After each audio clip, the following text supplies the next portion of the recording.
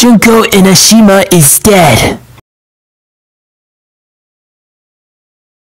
Ding dong, the wicked bitch is dead. It's a shame the bitch didn't die 26 years ago.